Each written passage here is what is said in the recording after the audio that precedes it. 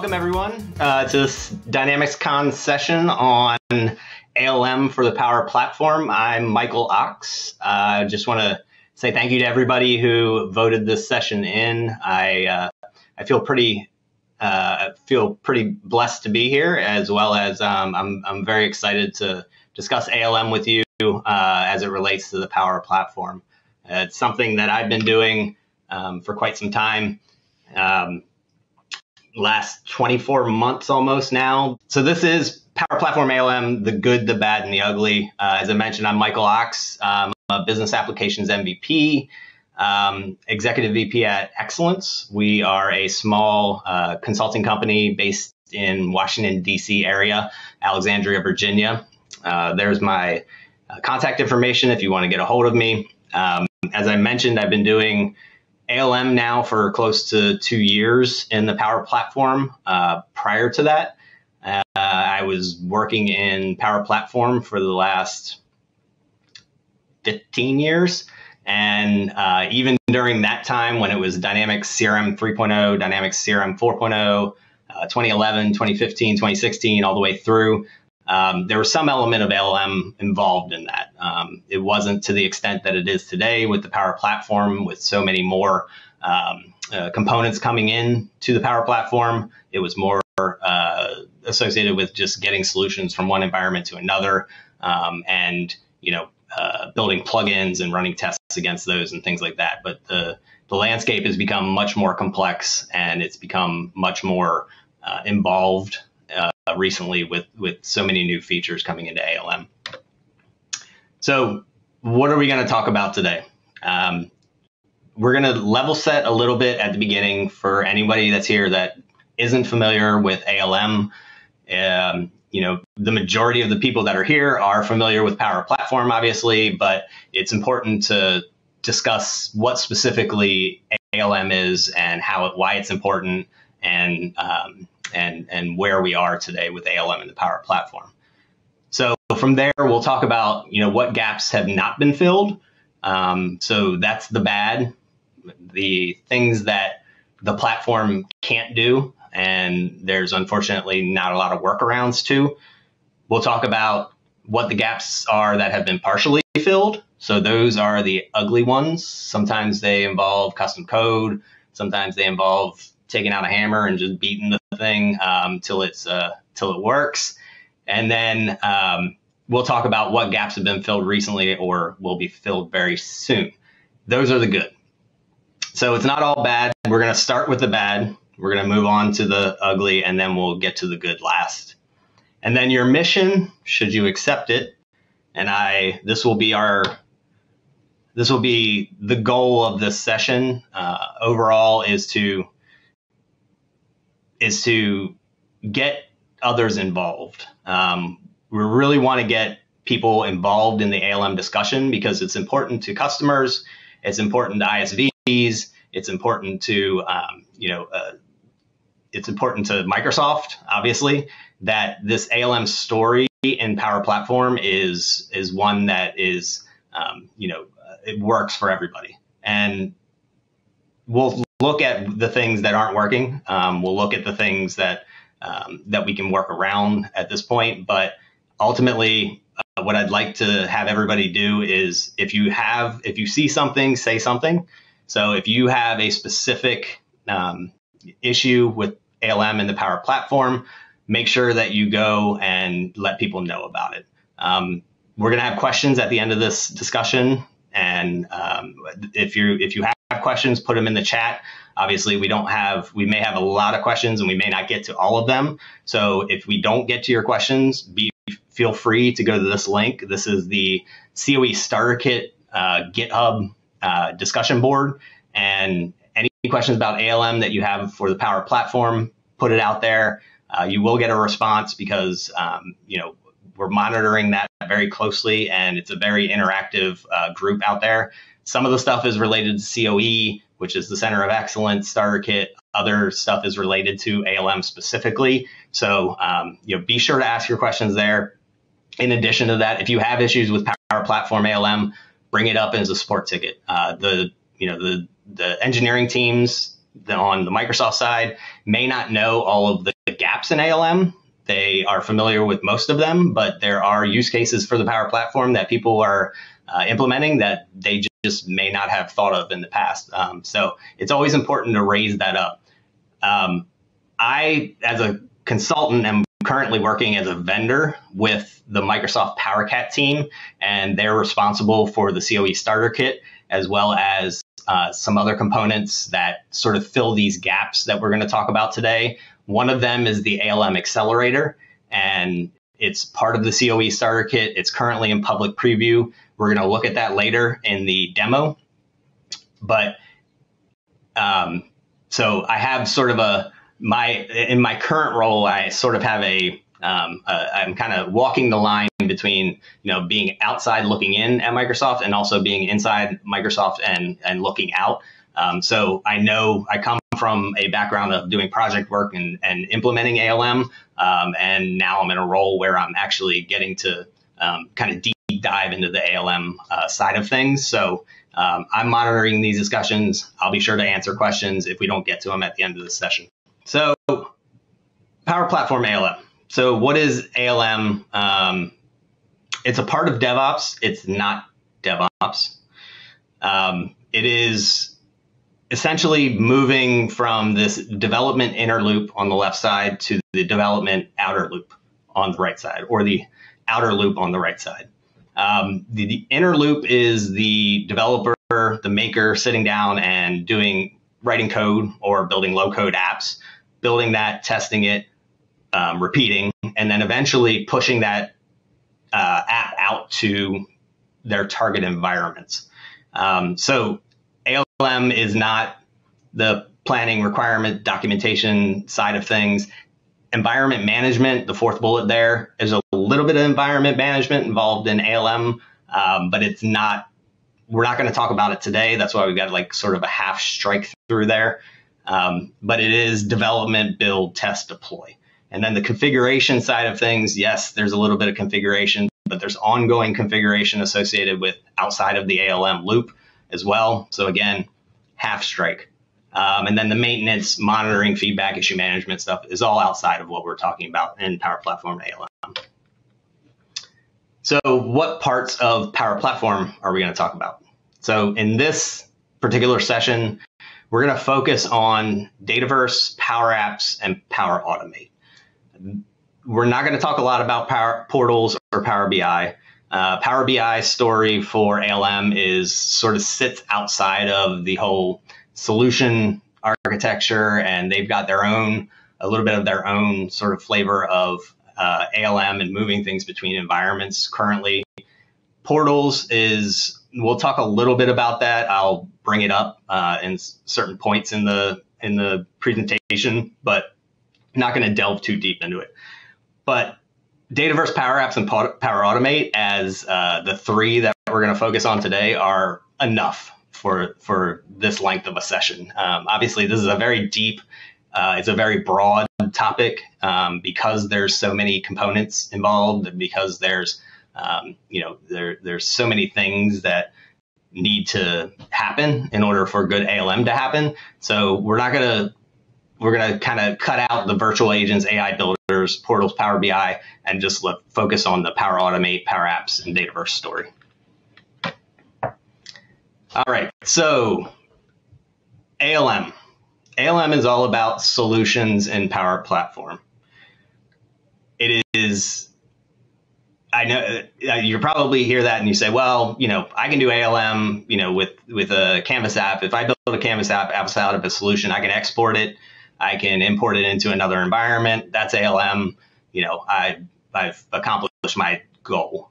Um, the reason that ALM or solutions are so important to ALM is that in the Power Platform is that the future of ALM is in solutions.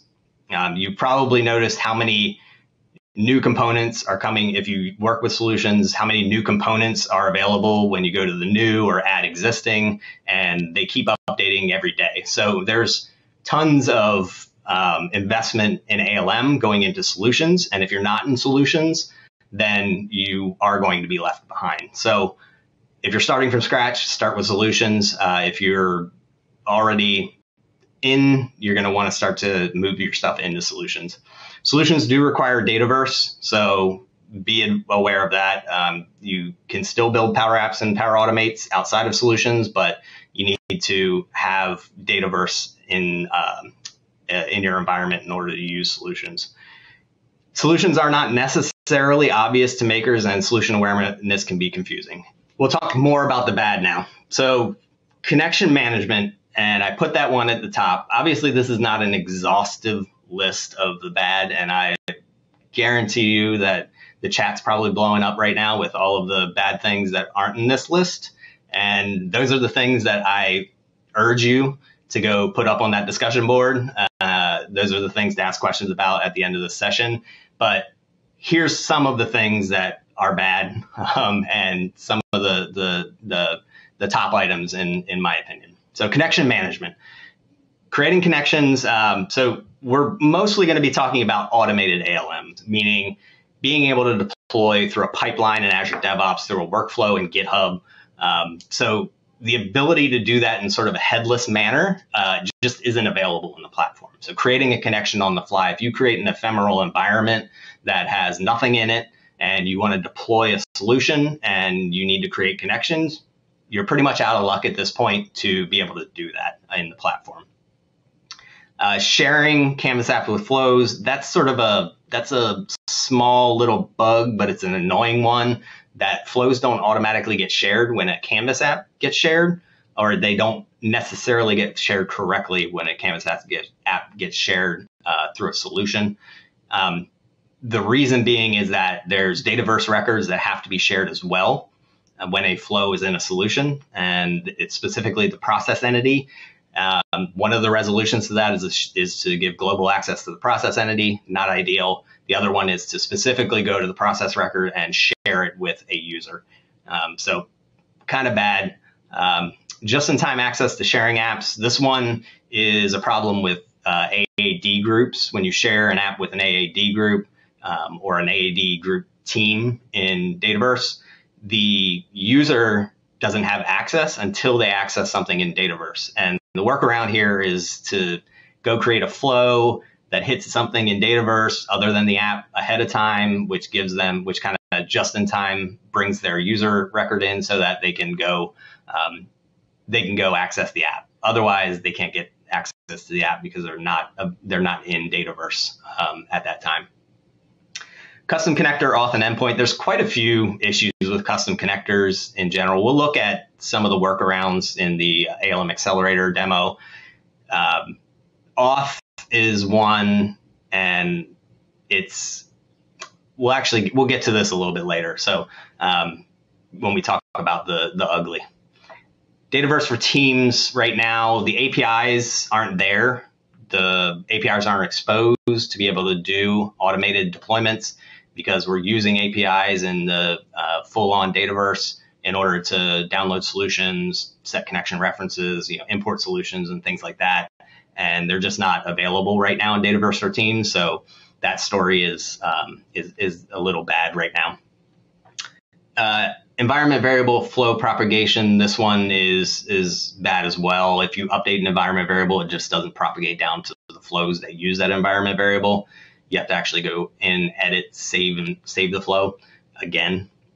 And then automated testing. There are there's some ability to do automated testing in Canvas Test Studio. Um, pulling that into a pipeline is is difficult, um, and it's uh, there's not a very good end to end story for automated testing with apps flows studio or Canvas. Uh, Dataverse. There's a little bit better um, story with Dataverse because it's you know been around longer, uh, despite the name changes, and there's a lot of tools out there to allow you to do some testing.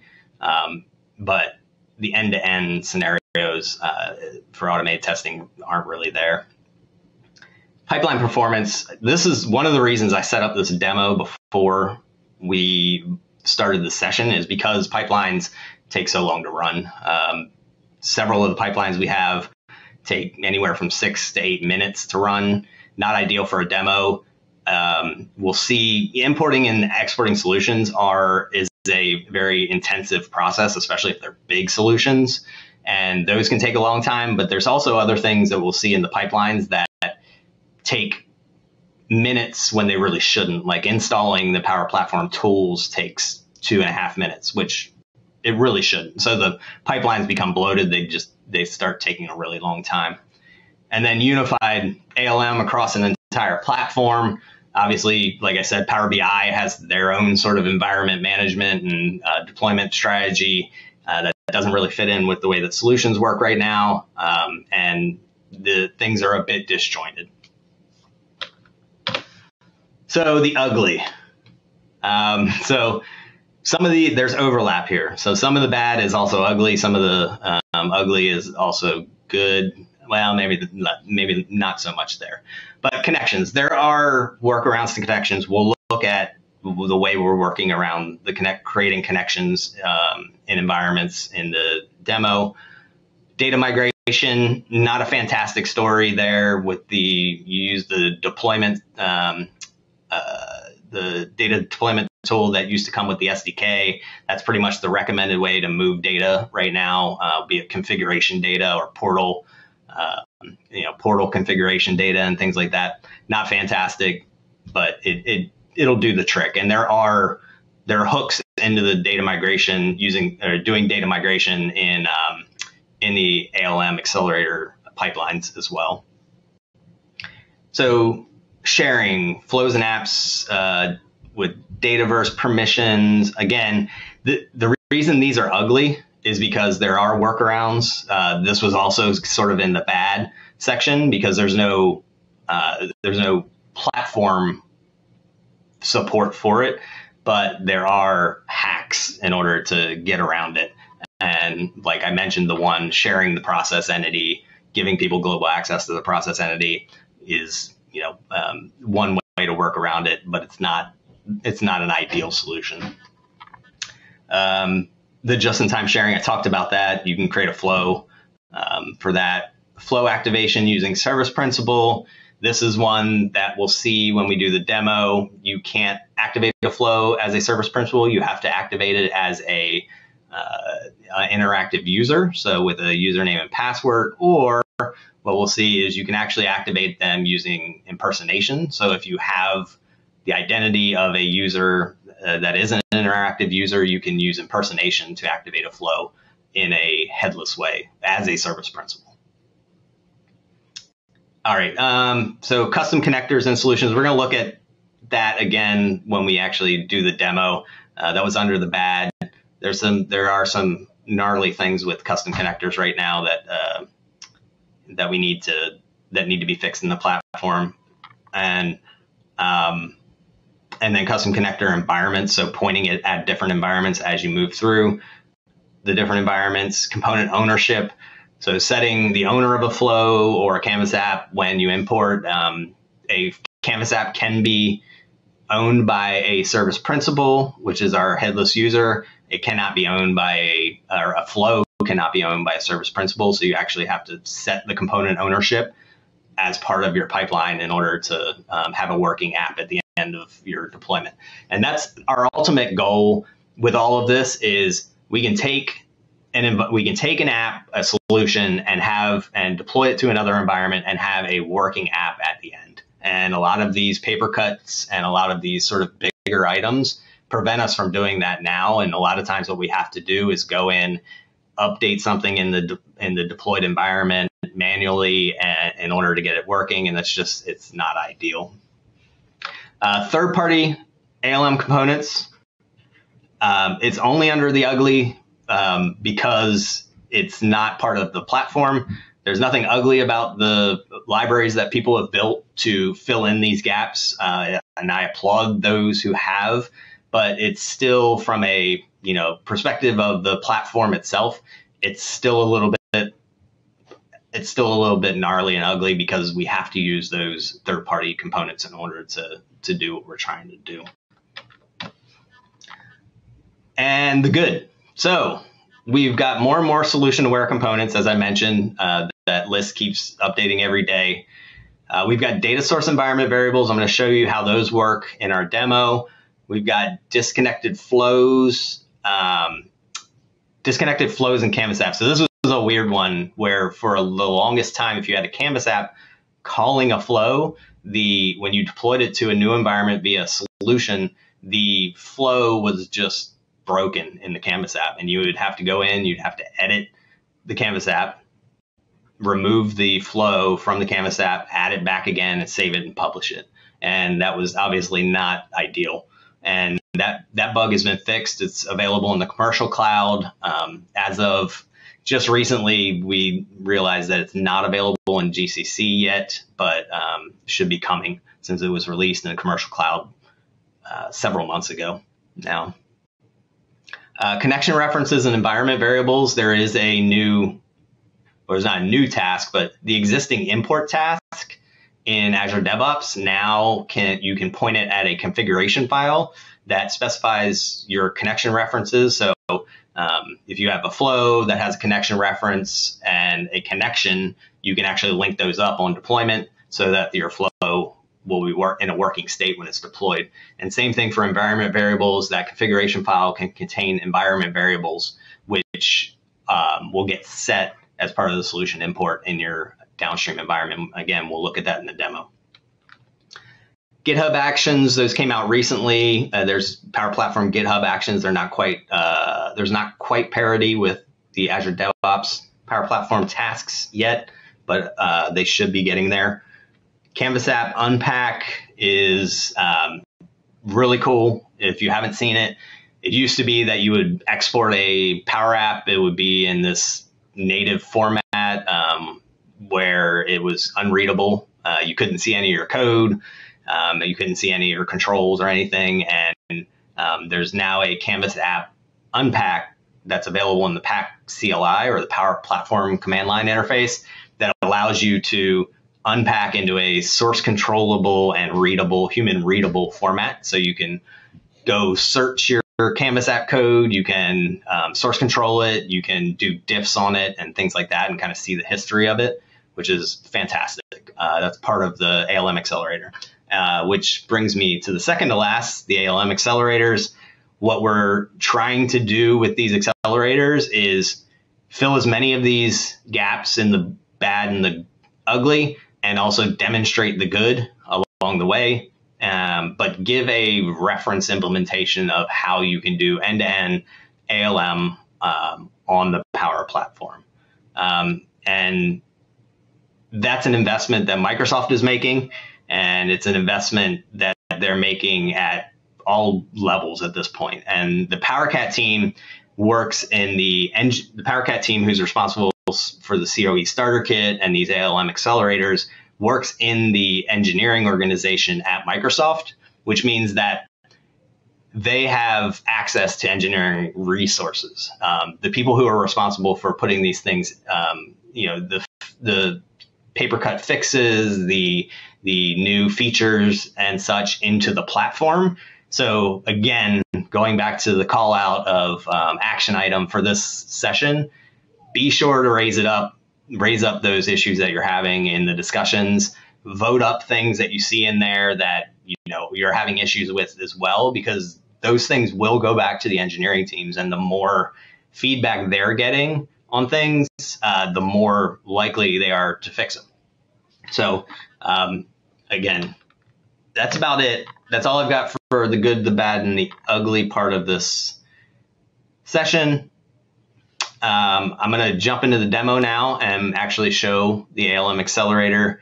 In particular, this is the ALM accelerator for advanced makers. And there is another ALM accelerator that's part of the COE starter kit, and that is the ALM accelerator for makers.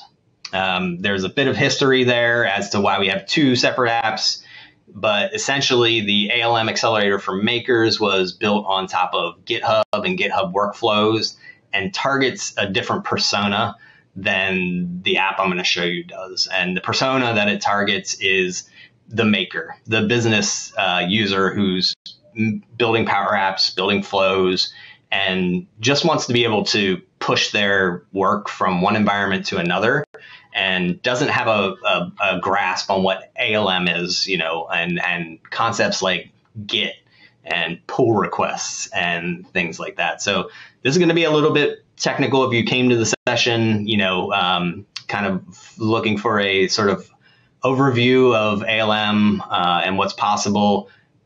This is going to get this is going to get a little deep. Um, we're going to look at some um, Azure DevOps side of things, and we're going to talk about Git concepts. But ultimately, the goal of this app is the same. It is to move things from one environment to another, to have checks along the way to ensure that you know um, there's approvals for deployment and such, and you know, um, and and validate that things are being pushed out correctly. So I'll jump over into Power Apps. This is our development environment. What you're going to see is work in progress on the ALM accelerator for advanced makers. It's not completed. It's actually, this is like completely preview. Nobody's really seen it before. Um, by the time that uh, DynamicsCon happens, uh, this is, you know, we're recording a little bit a month before the actual event. By the time that DynamicsCon comes around, this is going to be completed and will be out there and available. So some of this is a work in progress. So bear with us on that. But um, you're kind of looking at the latest bits in our development environment.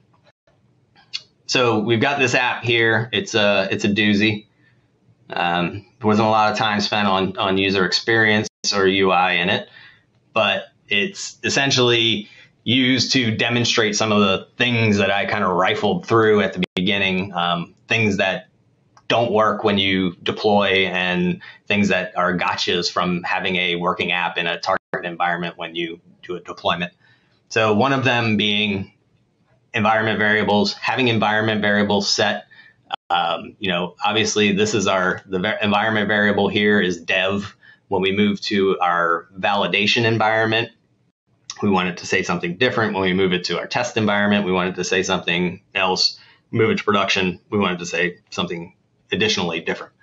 Um, so here's a run flow button. This is a flow, you know, this is our demonstration of the issue I was uh, talking about previously where the flows were disconnected from apps. Obviously, this one's connected fine uh, in this environment, in our dev environment, and we'll see it working in our validation downstream environment as well. Here's an example of a custom connector that I'm going to call. And I did do a little work here to, um, so this is my development environment. So I put a Star Trek joke in there. Um, but when I move that to my validation environment, I don't want people to see um, how nerdy I am. All right, so I'm going to jump over to the Power Apps here. And first thing we're going to look at is an app that we're going to deploy. And this app is quite impressive. Um, if you're a UX designer, you may want to leave the room or shield your eyes from it. But this is our app, and this is in our uh, COE development environment. So you guys are seeing uh, bits that haven't even been released yet for the ALM Accelerator. Uh, this is our sample solution for the ALM Accelerator. Um, this obviously, this is simply a test app that we use to test out some of the features of the ALM Accelerator. Um, this is not something that we release as part of the COE Starter Kit, apart from the ability to, to validate some of the things that we want to validate in deployments. Um, so we've got a we've got one thing here that we've discussed environment variables. Uh, we can see that this is um, pulling in an environment variable called dev because we're in our dev environment. We've got a flow here that we can click on this and we get a value return from flow. Again, going back to our list of issues, there was that issue um, a couple of months ago where the flow was disconnected when you imported an app. We're going to see that this, when we deploy this downstream, it's actually running because the flow is enabled and it's connected to the app. We've got the we've got a custom connector in here as well. Another one of the things I kind of glossed over in the the bad and the ugly, but custom connector deployment can be tricky. And in this case, we have a custom connector that can actually be deployed to a downstream environment and point to a different API uh, on the back end. Um, and we'll see how that works. So I call that, and you can see here's my here's my Star Trek joke that I've thrown in here, but this is my development environment, so it's a safe place for me to do make those jokes. But if I push it to the testing team, you know, they may not they may not get the joke. So I'm gonna I'm gonna make sure that this custom connector returns something different in those environments. Um, and then I've got a SharePoint list down here. So this is a this is an issue tracker um, pointing to, at the issue tracker in SharePoint. It's got one item in it right now. It's saying I'm having trouble deploying. So we're going to see that this actually changes. It points this is going to point to a different list when we deploy. All right. So this is our app. This is the ALM accelerator. The other one was not. Um, and I'll give you a quick overview of how this works. So when you first come into this app, you're going to get dropped on the settings. And the settings page is for you to enter your Azure DevOps organization, project, and repository. Um, the repository is where your source, uh, your solution source code will get ultimately um, uh, source controlled. And the project and org- organization is, um, you know, the orgs and projects in DevOps. Once you set that, you're going to get a list of environments. These are service connections that are configured in Azure DevOps that you have access to. Um, these should be just your development environment because uh, this tool is intended for makers in their development environment to be able to um, uh, be able to perform ALM. So I'm in my COE new dev environment. If I pointed at this test, I've got some extra ones that I shouldn't have in this list for now, but that's fine. Uh, I don't have anything in here because there's no unmanaged solutions in our test environment. Everything is deployed downstream as managed. But in our dev environment, I've got this whole list of solutions. All right. Uh, this is our solution that contains that lovely app that we saw a little while ago. This is the one that we're going to deploy. Um, again, going back to the solutions aren't that discoverable, we intentionally have the open solution here because the intent is that we you provide this to your makers as a way of them sort of starting their day, right? You've got a solution in place that you're working on and you want to go in and you want to create a new app. So from here, and this is, you know, it also helps with to avoid context switching essentially. We created an app because you're going to be working in Power Apps. You don't have to necessarily context switch over to Azure DevOps to, to do something. Um, you've got that app you know sitting right there that allows you to to um, source control your solutions and push them downstream to uh, other environments. So that lands me in the solution view. Um, I can add from here. I can create a new app, create a cloud flow It's very obvious um, that I can do that from here. I could go over here and hit the new under apps or under flows, and that would be um, you know not advisable because those things won't end up in a solution. They won't get deployed. So the idea is to make this experience a little bit more um, obvious to the to the users. Uh, next to that, we've got a configure deployment setting. So this is where you're getting to see sort of how the some of the sausage being made, I guess. Um, this is brand new. We started development of this about a week ago, and we've come pretty far on it. Um, by the time that this is a work in progress, as I said, this is a development like no new bits hasn't been released, um, but the um, but by the time this uh, DynamicsCon happens, um, this should be released and should be feature complete at that point. So the first thing to notice here is that we've got environments. So these are the environments that we're going to deploy to. We've got a validation environment, a test, and a production. If we had four environments, uh, basically four pipelines in Azure DevOps for this solution, we would see four of them here. So, but for now, we've only got the three. All right, so this is my production environment. You can see my, the connection references. I go to validation. It's going to look very similar. It's got the same connection references that are hooked up here. If I go to test, I'm going to see the same thing for the most part. Um, but you will see I've actually got three connections in this test environment. Um, one of them has an error and two of them are connected. But I can drill down into that and actually see the um, the issue with the connection. So in this case, I've got to update my password. Not going to do that right now. Uh, in addition, if I were if I happen to come in here and none of these were set, I can create a new one from here. So we had three in that drop down before. I'm going to create a fourth one.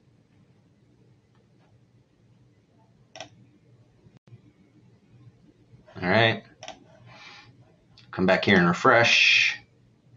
And now I've got four in this list. So that's creating connection references. This configuration data ultimately gets stored in um, in the ALM accelerator and gets pushed to the deployment pipelines. So all that configuration data goes into the pipelines, and the pipelines use those to um, do the deployment.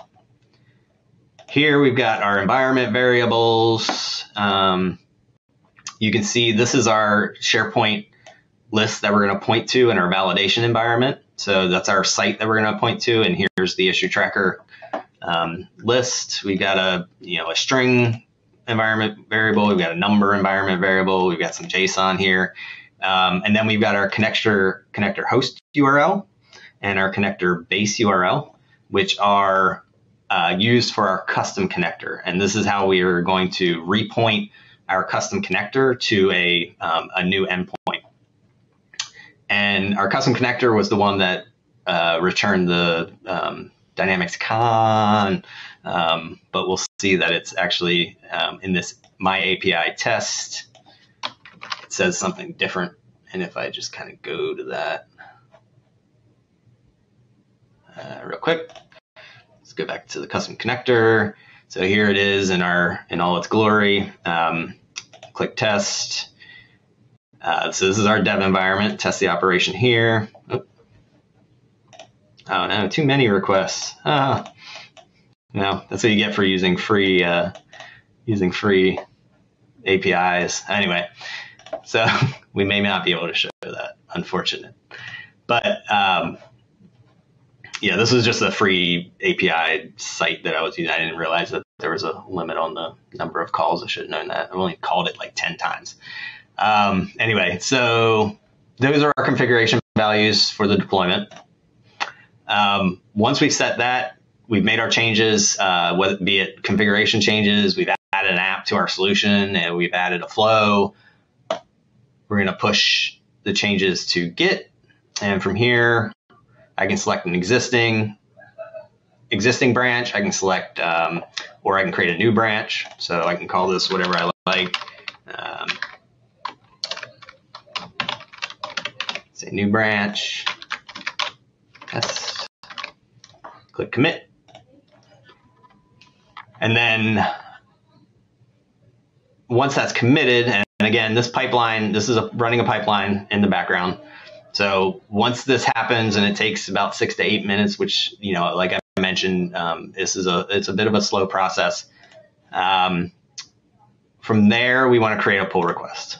So we're going to create a pull request based on our branch, and I've got one that's pre-existing. So here's one where I added the SharePoint list and I want to pull that into the ALM Accelerator sample solution branch. Or I could potentially pull it into main um, or whatever it may be. In this case, we're using a, a version next strategy. So this is going to be our next version before we actually merge it into main. Um, I'm not going to create that actually because we already, um, I already created one for this exact um, source and destination and it'll bark at me for that. But let's go look at the one that's out there already. All right, so here's the one I created previously. You can see, like I said, I had already created it from that branch into this branch. We're doing a validation build. When we do that, um, it's going to go out and it's going to build and deploy to our validation environment. And it's going to wire up all the connection references we sent it. It's going to wire up the environment variables. It's going to turn on our flows. It's going to set ownership of the flows. It's going to um, obviously deploy the solution. Um, it's going to import data as well if we have data sitting out in our uh, repo for um, the uh, data configuration tool to import. Um, it's doing a, a number of steps. But ultimately, what we wanted and what we have in our target environment is a working app.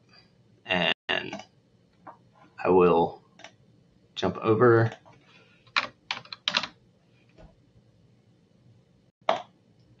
to our validation environment. Obviously, our custom connector is going to fail because I didn't pay the bills. But here's our app. Um,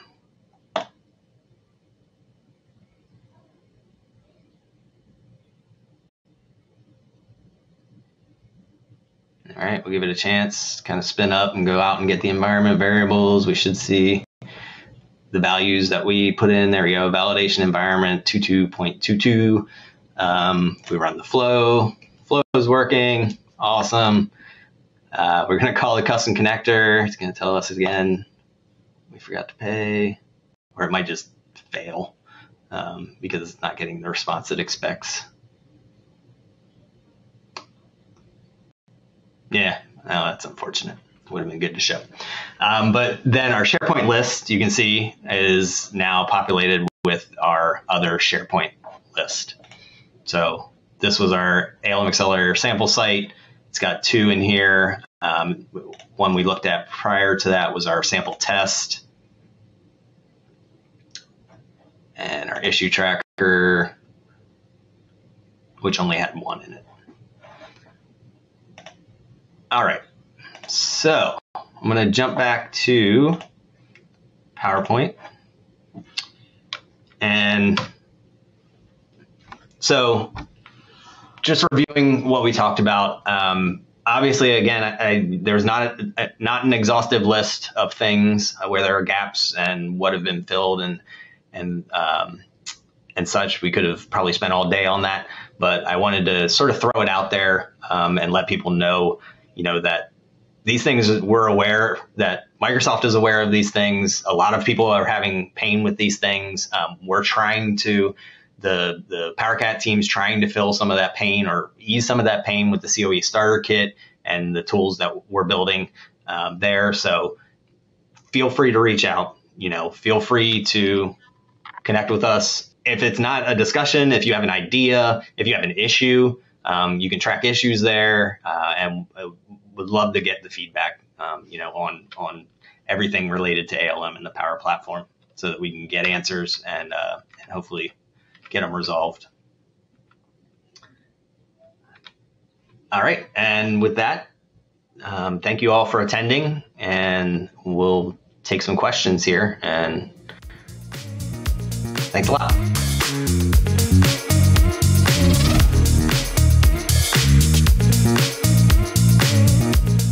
Okay. Um, that wasn't as bad as I thought it was going to be. I didn't get to see the finished product. Um, but um, so there was a there was some questions in the chat about uh, how to get to the um, ALM accelerator for advanced makers. So I think I pasted the link in to the chat for that, and as well as the uh, so to the latest release as well as to the docs on that.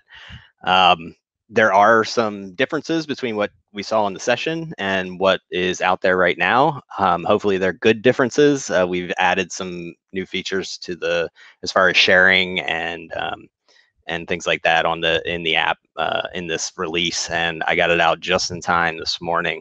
So that's that's good news.